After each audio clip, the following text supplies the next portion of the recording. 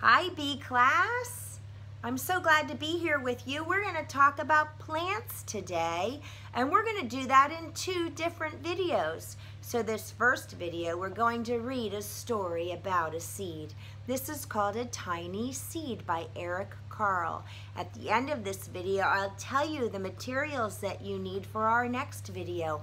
And we're going to learn about seeds and what they need, and we're going to do a fun activity. So let's read our story. It's autumn, and a strong wind is blowing, and it blows flower seeds all through the air and carries them across the land.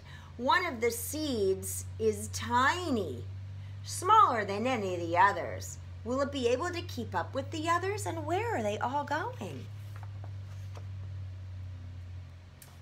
One of the seeds flies higher than all the others, and up, up, up it goes. It flies too, too high, and the sun's hot rays burns it up.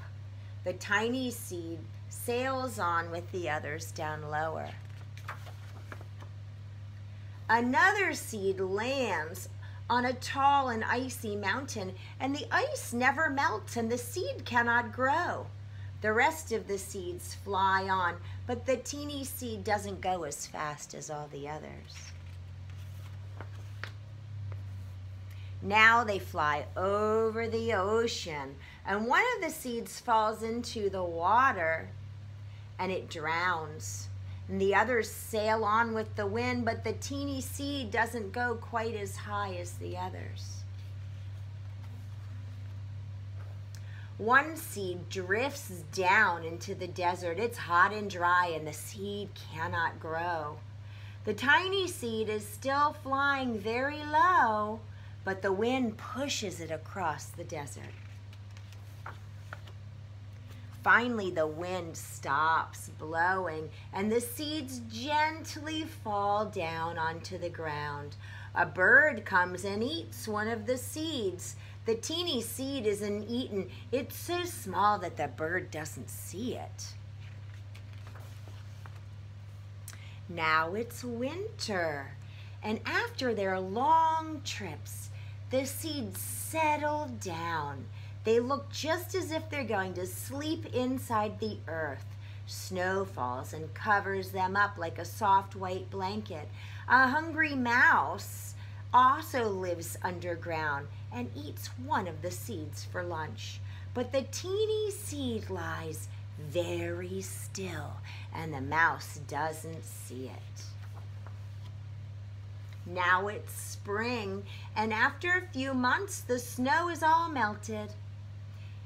It's really spring and birds fly by. The sun is shining, rain falls, the seeds grow so round and so big that they start to burst open a little.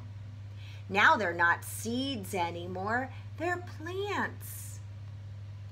First, they send roots deep down into the earth, and then their teeny stems and leaves begin to grow up towards the sun and the air. There's another plant that grows much faster than the new little plants, and it's a big, fat weed. It takes all of the sunlight and rain away from one of the small new plants, and that little plant dies. The teeny seed hasn't begun to grow yet. It will be too late. Hurry! But it, it finally, too, begins to grow into a plant. The warm weather also brings the children out to play.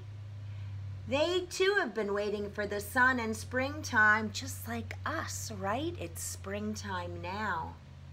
One child doesn't see one of the plants as he's running along and oh no, he breaks one and it can't grow anymore.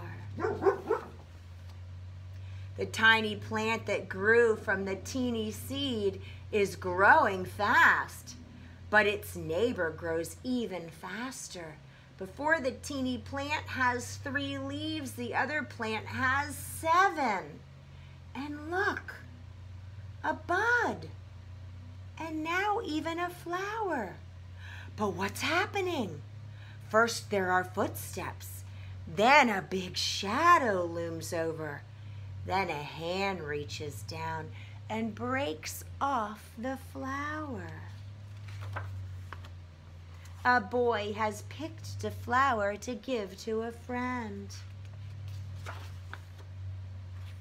It's summer. Now the teeny plant from the teeny seed is all alone. It grows on and on, it doesn't stop. The sun shines on it and the rain waters it and it has many leaves. It grows taller and taller. It's taller than the people. It's taller than the trees. It's taller than the houses. And now a flower grows on it. People come from far and near to look at this flower. It's the tallest flower they've ever seen. it's a giant flower. All summer long, the birds and the bees and the butterflies come visiting.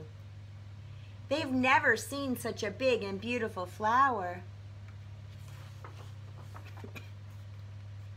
Now it's autumn again, and the days grow shorter, the nights grow colder, and the wind carries the yellow and red leaves past the flower. Some petals drop off the giant flower, and they sail along with bright leaves over the land and down to the ground. The wind blows harder. The leaf, the flower has lost almost all of its petals. It sways and bends with the wind, but the wind grows stronger and it shakes the flower. Once more, the wind shakes the flower, and this time the flower's seed pod opens. Out came teeny seeds that quickly sail far away in the wind. And it starts all over again. What a wonderful book about seeds and how they become plants and flowers.